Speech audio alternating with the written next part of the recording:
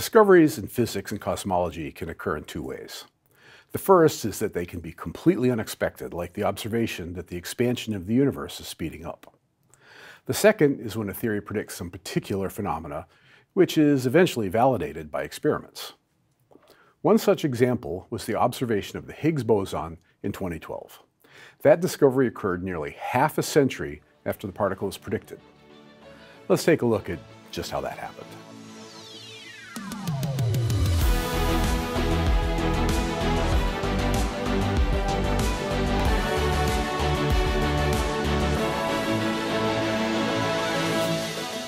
Higgs boson is a vibration of a thing called the Higgs field.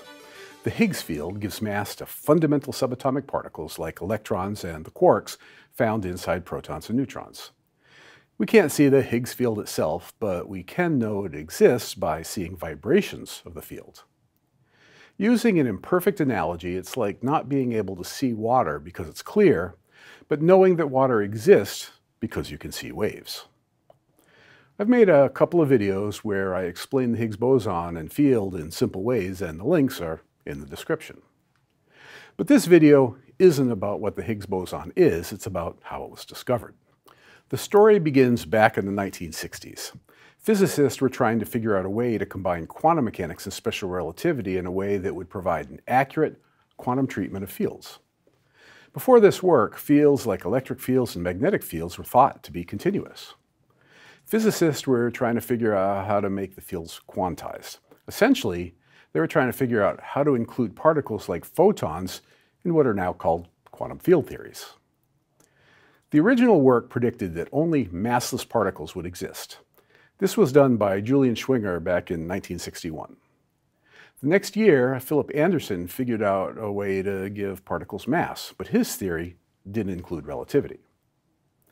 In 1964, three groups of people worked out ways to add relativity into the theory. One group included Tom Kibble, Gerald Guralnik, and uh, Carl Hagen. Another group included Francois Englert and Robert Brout. The third group was Peter Higgs, working alone. Of course, it was Peter Higgs from which the Higgs field got its name. However, these six guys didn't predict the Higgs boson itself. That occurred in 1967 when other researchers tried to apply the earlier work to the weak force. Steven Weinberg, Sheldon Glashow, and Abdus Salam were responsible for that effort.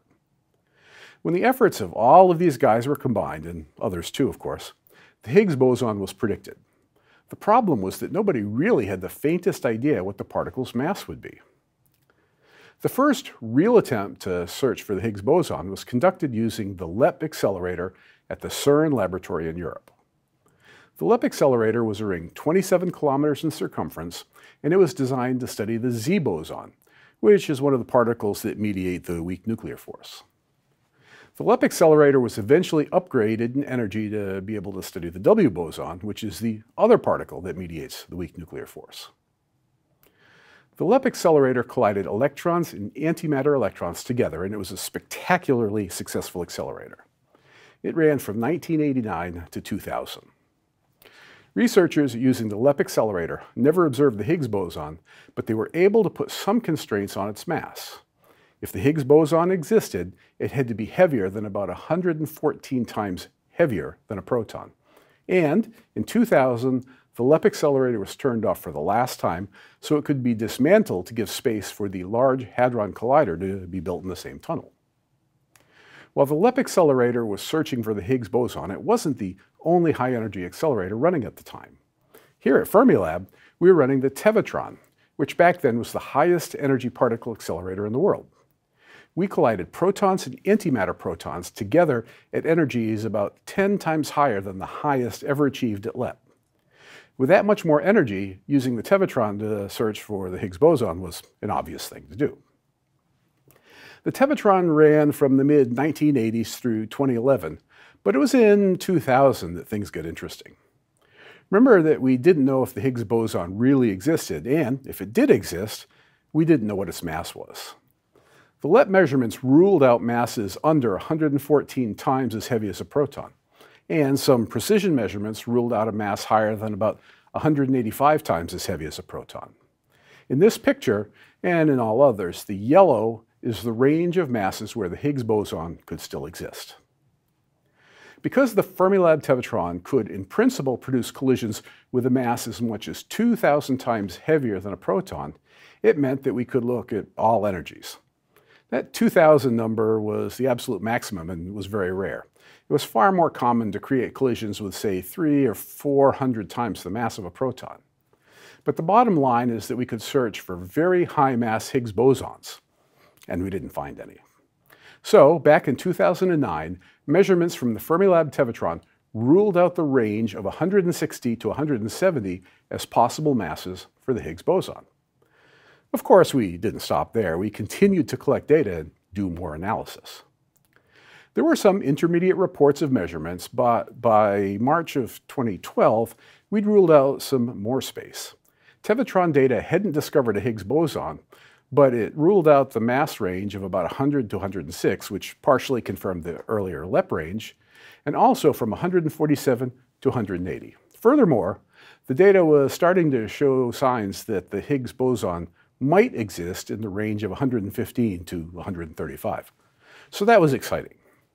Meanwhile, the Large Hadron Collider, or LHC, was coming on. By 2010, the LHC was up and running with 3.5 times the energy of the Tevatron, plus more collisions per second. And in 2011, the LHC energy got boosted to four times the energy. The writing was on the wall. It's like comparing a propeller-driven airplane to a jet. It's just hard to beat new technology. So, with the LHC in the race, the only advantage the Tevatron experiments had was that we had years of experience working with the detectors. There was always the hope that the Tevatron scientist would find the Higgs first. But the odds didn't look good. By the spring of 2012, the LHC experiments ruled out a Higgs boson mass between 130 and 474. And then July 2012 rolled around. It was time for sudden death. I should probably pause for a minute and tell you a bit about the Tevatron LHC competition. The competition was there, it's true, both laboratories certainly wanted bragging rights, but it wasn't so easy to distinguish between the two efforts. Many scientists were working on both experiments. I was, for example. I was analyzing data both on the D0 experiment at the Tevatron and the CMS experiment at the LHC. And I wasn't unique. Lots of scientists were moving from the Tevatron to the LHC. As I said, the writing was on the wall. The truth is that the knowledge gained in Tevatron research helped LHC research just like Tevatron scientists benefited from earlier work. In any event, on July 4, 2012, the Tevatron experiments announced where we stood. The green region shows the range of masses the Tevatron ruled out, but you can also see the purple range. That's the range that the LHC had ruled out. And you can see that the LHC ruled out more than the Tevatron. Furthermore, the yellow, which was the range where the Higgs boson could still exist, was getting very small. But still, nobody had found the Higgs boson yet. That changed two days later when, on July 4, 2012, the LHC experiments announced their results. There were two LHC experiments that could have found the Higgs, and both of them announced the discovery that day.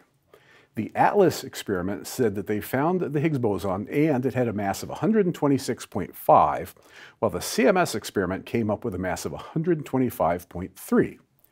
Given the uncertainties in their measurements, the two experiments basically confirmed one another, and the Higgs boson was found. So what's the status now over a decade after the Higgs boson was discovered? Basically, the journey continues. More data has confirmed the discovery. When all data is combined, the current estimate for the mass of the Higgs boson is 125.25 plus or minus 0.17. Furthermore, we've confirmed lots of the properties that the Higgs boson was predicted to have back in the 1960s and 70s. Currently, scientists are making precise measurements of the properties of the Higgs boson, looking for anomalies. And that brings us back full circle to when I started this video and I mentioned serendipitous discoveries like the accelerating expansion of the universe. Given that the Higgs boson and Higgs field is intimately tied to the mass of fundamental subatomic particles, it's entirely possible that precise measurements will turn up a surprise or two. Now, if you'll excuse me, I got to get back to the lab.